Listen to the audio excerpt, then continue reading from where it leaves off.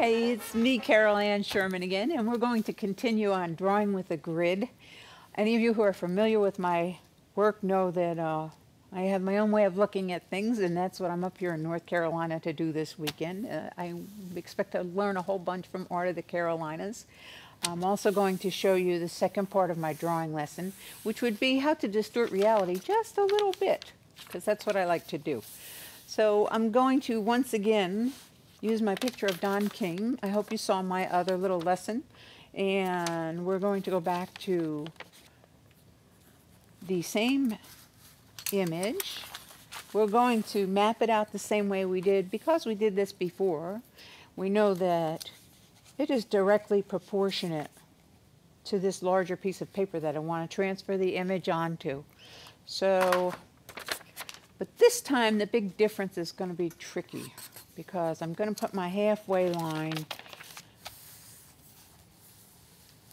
I think we'll move them over. I tend to like to go one side or the other. I'm not measuring anything. I'm just using my ruler for a straight edge, which is what I usually do. So I'm going to move my half, well, we'll move them this way a little bit. I think is an even better idea. We'll move our half line that way. Our second half line. What I want to do with this image is kind of get a better feeling for perspective. And he's a very big, powerful man. And he looks, when you look at someone like Don King, he looks like you're looking up at him because he's just got that kind of a persona. And that's what I like to draw most. So this worked out just fine. So we're going to put this center line in my image is going to correlate with this center line in my drawing. Okay? Don't get nervous. I know, it's not even. That's okay. And then we're going to do this one. Not quite halfway. That will be our third line. And then down here we're going to put, let's see what we have going on in the bottom half of this painting. I think we're going to move his tie down. I like that tie a lot. So we're going to make that more important. We're going to put a very big area here. Okay, and we're ready to go. It's really important to be able to draw, and it's nothing to be scared of. It's really quite a painless exercise. Again, I am folding this paper in half. This is my image, and this will represent this line. I'm still going to fold my paper straight in half once more. That'll be correlating with this line and one more time, which is going to give us this line and this line. I know these aren't even and I know they're not squares, but I probably will call them that anyway, so bear with me. I like to start my drawings on the upper left-hand side of my page because I am right-handed and then I do not drag the graphite all across the paper. And I very rarely work with an eraser.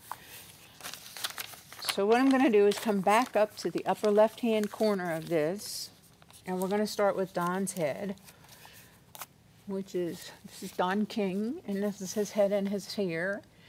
And I may exaggerate even a little more, well, not too much, but this is where his head comes out to. This is halfway on this square. So we're going to figure, his head's about a quarter of the way. This would be about halfway, this would be about a quarter. So we're going to start here. His eyeglasses will come here, right over to the bridge.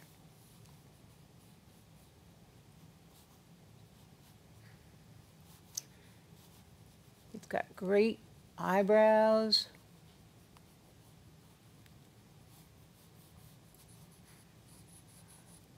And we'll start with his hair. And it comes down kind of over his glasses on the sides. We can just see his eyelids from this. You can barely see his eyes, but we know they're there. And we'll give him these nice heavy lids. We're going to move on to the next square. Here's his chin comes out this way. Can't go too low because this is a very small box. So we're going to have a little bit of a distortion here. Actually, we're going to have a lot, but that's the purpose of this exercise. Here's his collar, which only comes about that big. Here's his tie, which comes down this way. I can just barely see the corner of his mouth there. His suspenders don't even come halfway. So we're going to put it just like that. He merges into the back. Now, we're gonna move on to the next square. And we get to his suspenders. This is our big square, so we have lots of room to play with. I'm gonna X this out on my photograph, so I know that this is my center. I'm gonna X it out lightly on my paper so that I know that this is the center. That means in this top quarter, his suspender comes right from here and meets up with his suspender up there. His sleeve starts over here and comes off the page up there. You can see that there's just a very small dark square. This is something for you to look for when you're transferring an image. There are a lot of merges, color merges and value merges back here, but this is something that you can always look for. It's helpful in getting your drawing put together. We're going to move on and get up to the left-hand corner.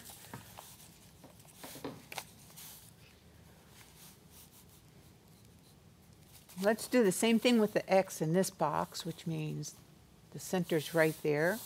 Now, because this box is wider, our center is going to be way over here, so it's going to distort this drawing.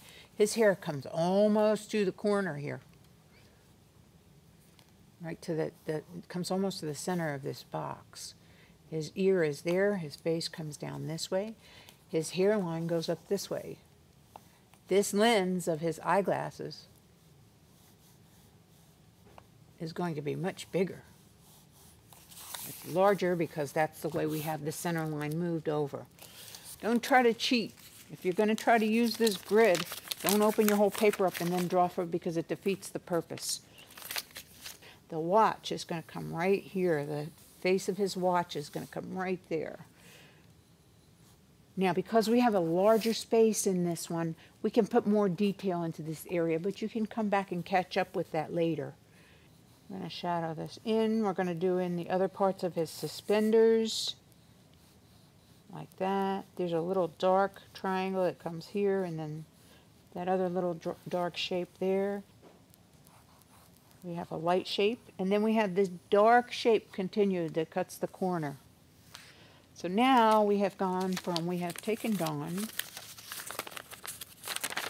from that look to this look and it's still a viable drawing. So you can go back to your drawing now and you can take this and either trace over it on another piece of paper so you have a nice clean line drawing to paint from, or you can take your eraser if you're inclined to use an eraser and take out your grid lines and freshen it up from here.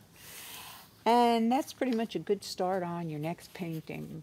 This is Carol Ann Sherman and I'm speaking to you from Art of the Carolinas, and I urge you to look for my DVD and have lots of fun drawing. That's one of the most important parts of art. And there isn't a real right or wrong. You can do it however you want it. Thank you.